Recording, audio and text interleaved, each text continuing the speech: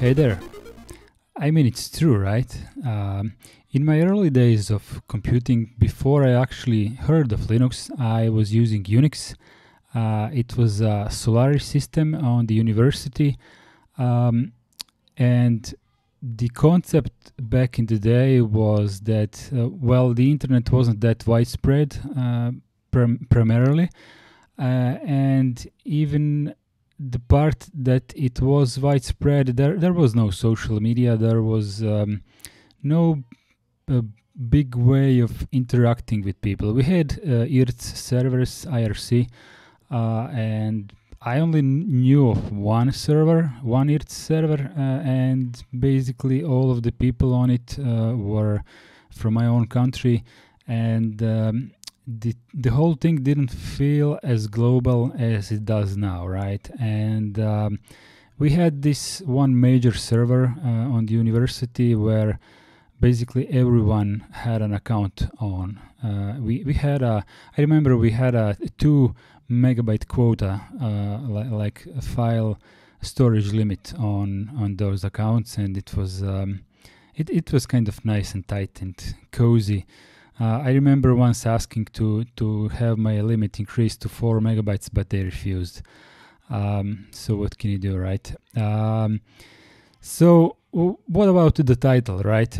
Uh, there is a command on Unix systems, on Linux as well, uh, which has been long forgotten. It's called finger. And what the finger does is basically it just uh, prints out the information about the other user on the system. Um, basically, you type finger uh, and then the username of the other user, and it will tell you uh, their name, their phone number, uh, and basically their plan. Uh, th- their, their plan is just a text file. It wasn't that common, uh, but s- some of us have been using the dot plan file in our home directory to have um, kind of a small diary of sorts. Not exactly a diary uh, in the traditional sense, but more like uh, what am I up to, uh, what am I what I, I am doing, and um, s- stuff like that. Sometimes we would put some humor in there. Uh, some people wrote poems.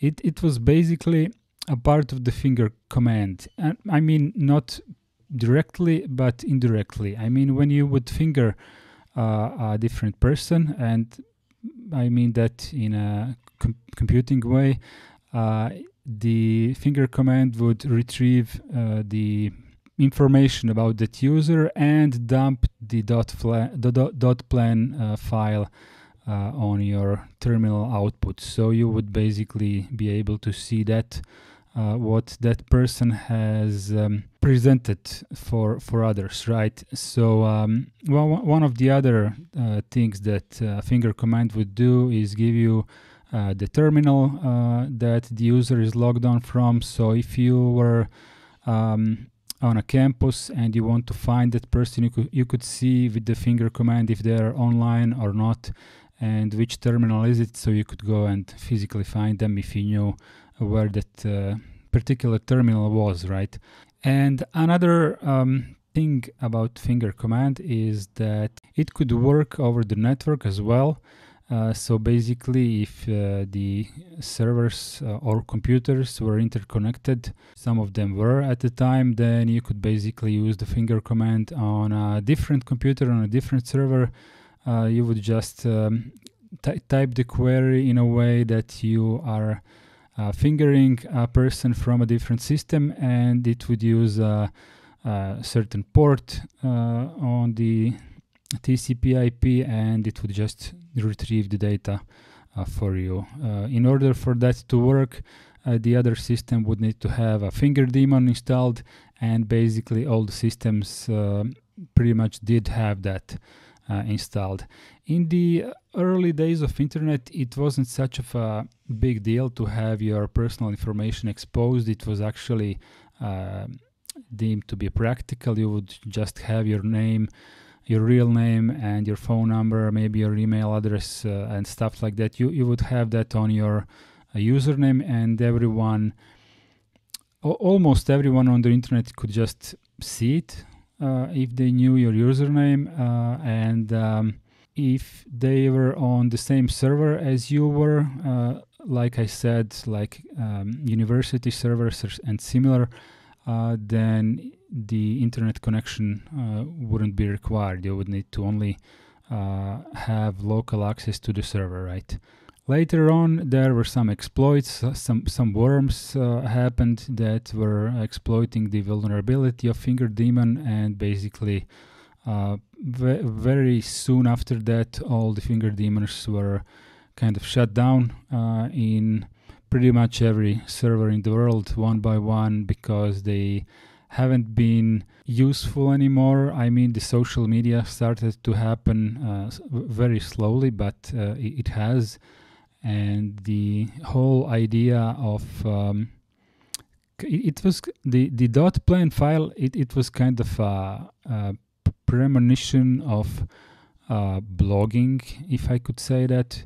Not necessarily the blogging what we consider it to be today, but it it kind of had that vibe to it. And uh, ba- basically, that's all there is to it, right? If you are a Linux user, uh, you can install a finger command. Uh, if you're in Debian, just type apt-get uh, install finger, and it will retrieve the um, uh, client for you, and you can use it to uh, use you, you can use the finger command on other user on uh, your own system. Uh, you will not have the finger daemon by default. I'm not even sure if it's still installable uh, from the repository, but it's usually not a very smart idea to have that installed because you're clearly having a security issue by doing that but just the uh, client command you can you can install that and play it on your own system and see how it used to work right so um, I mean, that's kind of a retrospective. Uh, I hope you enjoyed my little story. Uh, and if you want more of these things uh, from the past, uh, feel free to voice your opinion in the comments. Uh, if you didn't like it, I don't know, maybe leave it a thumbs down. I'm fine with every feedback I can get. So, see you in the next one.